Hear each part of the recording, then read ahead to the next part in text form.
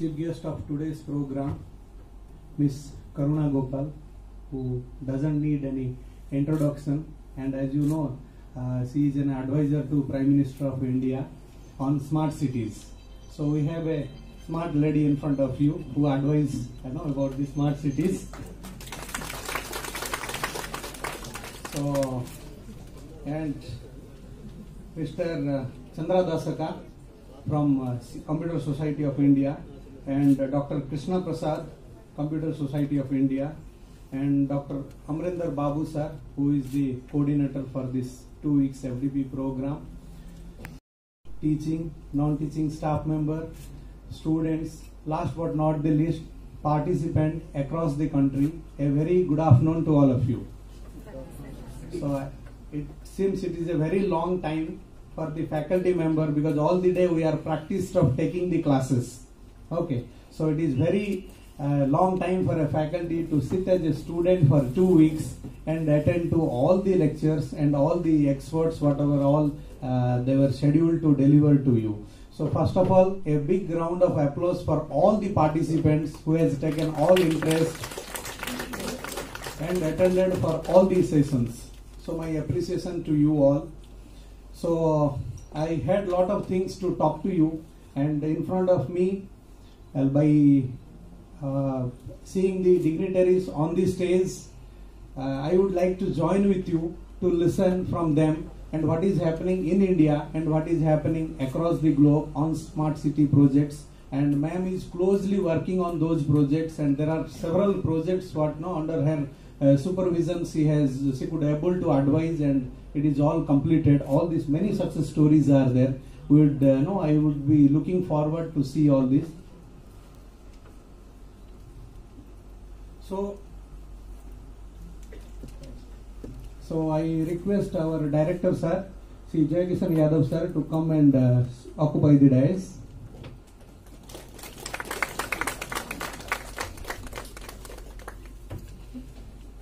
Sir, please receive a small uh, moment at this one, token of our affections.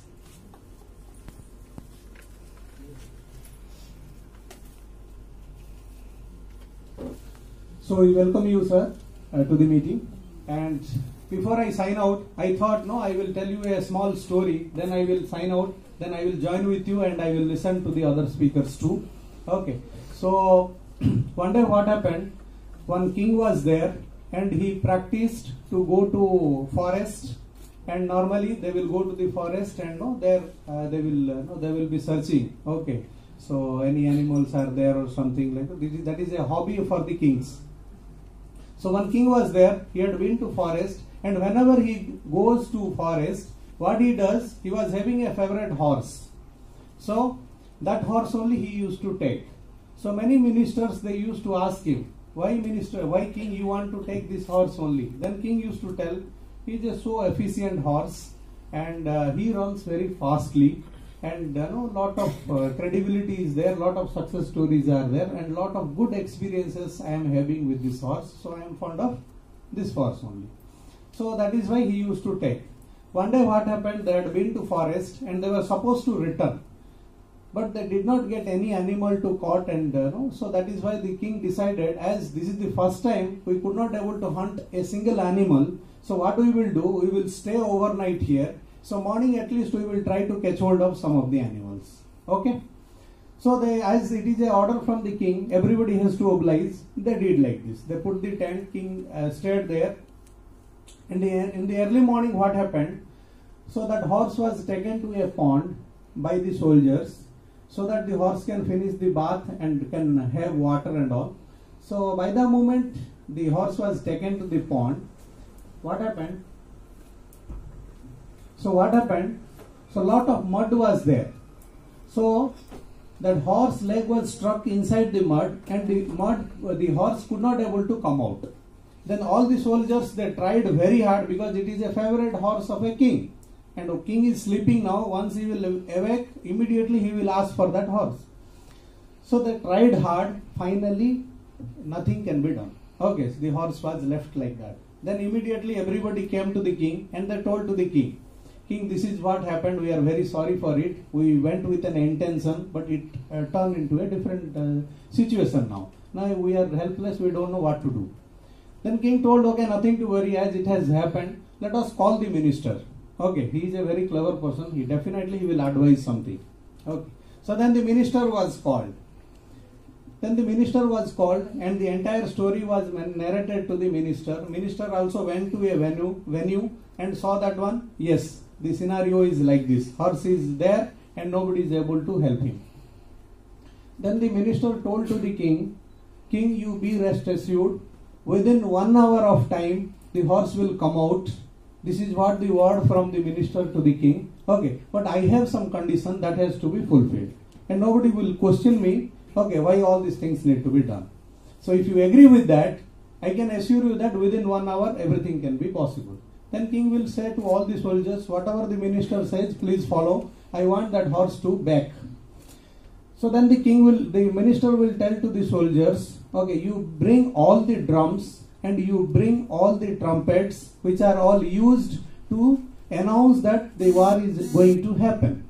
And all were bought and immediately the minister asked, you play it, hide somewhere and play those sounds.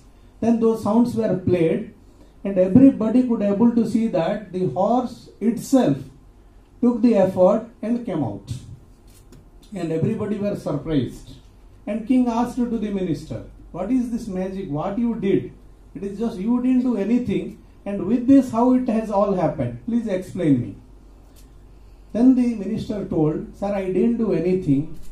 I created a scenario in such a way that the horse should get a thought that the war is going to happen as it is it is already practiced and you told that lot of success stories are there with this horse and as this announcement was done, the sound started coming. The horse felt like this. My king is in trouble now. I have to go and save the king. So physically he was fit, but mentally he was ill, and nobody was encouraging him to perform or to give his best.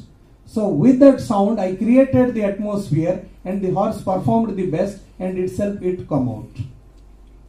So why I am telling this story in a valedictory function of an FDP? So you we all are teachers.